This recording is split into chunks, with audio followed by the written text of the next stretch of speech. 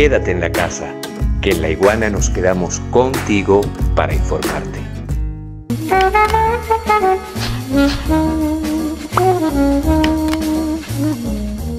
Los actuales asesores de Trump reconocen, eso sí, que derribar a Biden requeriría de un nivel de disciplina que el mismo Trump no está demostrando.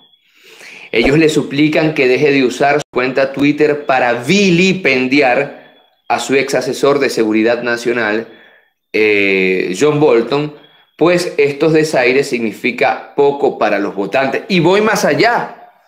Donald Trump, para quienes seguimos pormenorizadamente la política de los Estados Unidos, en, los, en las últimas semanas ha prácticamente querido humillar, malponer, vejar a los periodistas en medio de las ruedas de prensa dentro y fuera de la Casa Blanca. Ha sido machista frente a preguntas de periodistas eh, eh, mujeres, ha sido racista frente a preguntas de periodistas que además de ser mujeres pueden tener algún rasgo asiático, afrodescendiente o hispano, ha sido un maleducado, un patán, un patán. Pero una cosa es ser patán cuando tú estás sentado en el penthouse de la Torre Trump en Manhattan cuando estás en tu empresa privada, otra cosa es ser patán cuando estás en la Casa Blanca buscando reelegirte. No es lo mismo. Y ahora incluso hay choques entre Biden y Trump por varios temas, entre ellos el tema Rusia y entre ellos el tema de los talibanes. Ahora, ahora, ahora. Recordemos que estamos hablando de una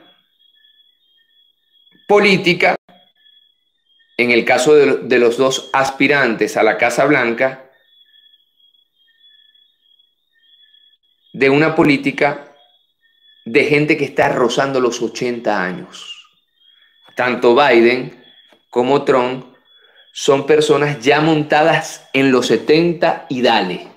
Y dale. También eso habla mucho, también eso habla mucho de las condiciones políticas de los Estados Unidos y de las protestas sociales de los jóvenes en los Estados Unidos que difícilmente se sienten representados por dos candidatos presidenciales que están rozando los 80 años.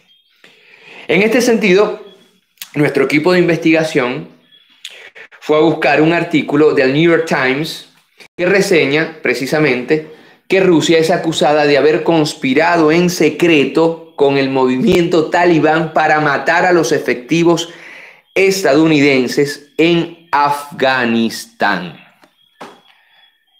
Evidentemente Rusia niega el hecho e incluso los talibanes niegan el hecho, asegurando que no son instrumentos de nadie tampoco de los rusos. Según este mismo periódico, The New York Times, Trump fue informado sobre esto y el Consejo de Seguridad Nacional de la Casa Blanca, el mismísimo Consejo de Seguridad de la Casa Blanca, discutió el informe, el informe durante una reunión interinstitucional a finales de marzo de 2020, pero no autorizó ninguna respuesta.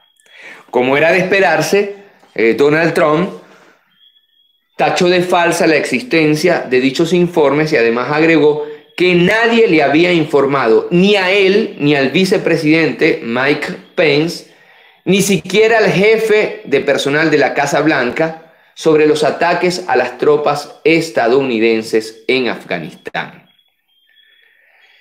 ¿Qué dijo Donald Trump frente eh, a, este, a este escándalo en su red social preferida, Twitter? Yo voy a citar textualmente, si ustedes me lo permiten, claro está. Probablemente sea otra noticia falsa de Times, al igual que su fracasado Russia Noax, OAX, es decir, Se refiere a las acusaciones de su supuesta conspiración con Moscú durante las elecciones de 2016. ¿Quién es su fuente? Remató al final del tuit Donald Trump. Al respecto, Biden también evidentemente se pronunció y aquí se los vamos a traer a colación. Biden dijo lo siguiente, como siempre cito textualmente, no solo ha fracasado eh, Donald Trump en sancionar o en imponer algún tipo de consecuencias a Rusia por esta violación flagrante del derecho internacional, sino también ha continuado su vergonzosa campaña, dice Biden de Trump, de irrespeto y siguió degradándose ante Vladimir Putin. Es una traición, continúa Biden, al deber más sagrado que tenemos como nación. Dos puntos, proteger y equipar a nuestras tropas cuando las pongamos efectivamente en peligro.